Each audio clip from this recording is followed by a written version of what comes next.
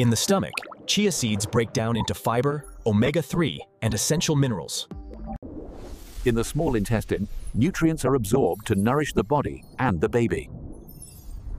Omega-3 enters the bloodstream, preparing to reach the fetus.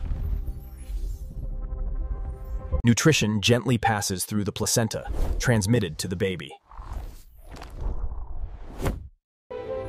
Omega-3 supports brain development. Minerals help strengthen bones.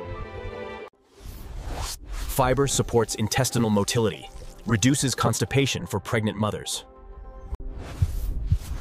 Omega-3s help improve blood vessel health and circulation.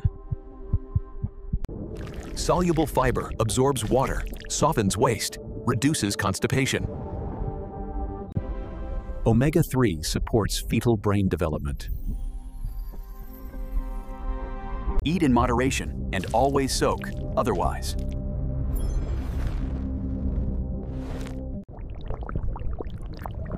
Eating dry chia seeds causes dehydration.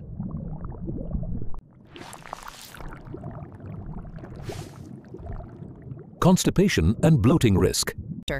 Digestive aid. High fiber content prevents and treats constipation. Fetal development. Omega 3 supports.